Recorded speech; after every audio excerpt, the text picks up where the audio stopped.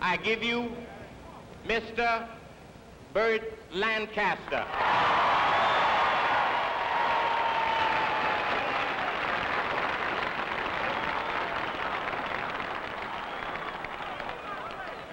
All Americans traveling no matter where in the world today are in the position of ambassadors and are very often made bitterly aware of our country's reputation.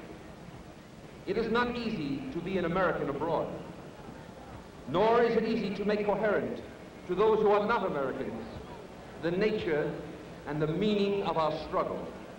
And we are therefore forever indebted to those Americans represented by the March on Washington movement for giving us so stunning an example of what America aspires to become and for helping us to redefine in the middle of this dangerous century what is meant by the American Revolution.